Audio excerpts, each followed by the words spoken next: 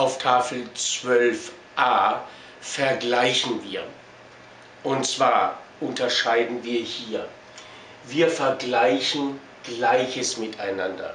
Also a ist gleich b.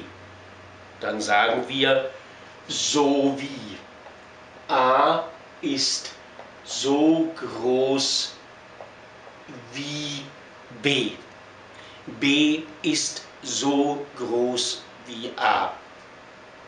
Wir vergleichen Ungleiches miteinander, beziehungsweise wir verwenden hier den Komparativ. a ist größer als b. b ist kleiner als a.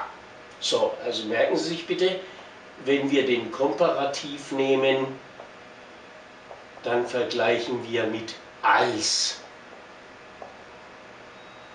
So, dann noch eine dritte Variante. Wir unterscheiden zwischen Gleichheit und Identität. Beispiel. Maria hat ein rotes Hemd.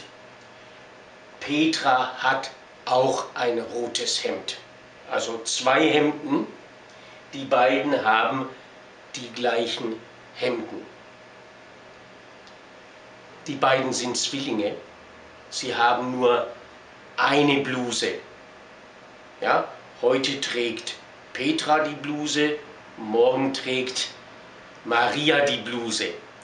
Jetzt haben wir Identität. Die beiden haben dieselbe Bluse, also nur eine Bluse. Danke.